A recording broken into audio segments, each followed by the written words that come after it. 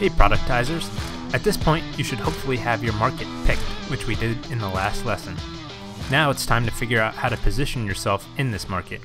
Your understanding of the market will undoubtedly improve over time, so your positioning will inevitably change with it. However, it's important to think about positioning when you're starting, as it will make your initial sales easier and will help you create the momentum you need to continue with your business. But before you can position yourself and your company, we need to know and understand who your ideal buyers are male or female, how old, what are their dreams, what makes them tick. And of course, I've provided a worksheet for that at productize.com/dl.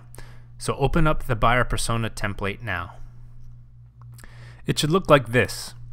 You'll notice there's an example persona filled out to give you an idea of how to create your personas. There are also three columns for you to create your target personas. At this point, you may only have one or two in mind, and that's fine. This is meant to be more of a living document that you can come back to and refine as you run your business and learn more about your customers. But it helps a lot to plot out your best guess now. At this point, you should pause this lesson and fill out the worksheet before continuing the positioning lesson. Don't worry, I'll be here when you get back. Alright, at this point you should have filled out your buyer persona template. And now that you've fleshed out at least one buyer persona, it's time to figure out how to position yourself so that you're speaking more directly to that person. There are basically four main positioning pillars. Eventually, you may be able to position your company on three or four pillars, but when you're starting out, you'll probably only be able to position on one or two, and that's fine. So, what are the four pillars? The first is price. When you're starting out, price is most likely going to have to be one of your positioning pillars. You won't have the track record to command high prices from the get go, and that's okay. Positioning on price by pricing lower than competition isn't ideal, and you'll get some bargain shoppers who can be difficult to deal with. But here's the silver lining dealing with these more difficult clients will actually better prepare you to streamline your processes, which is a really good thing. So, my recommendation, if you're going to position on price, is to embrace the fact that you'll deal with some difficult clients Use it as an opportunity to learn and also use it as an opportunity to over deliver because some of these clients will become your first evangelists and will refer you additional business. You can also use price as a positioning pillar by pricing higher than your competition. And you actually can do this from the get go even without a track record. How? By providing a guarantee.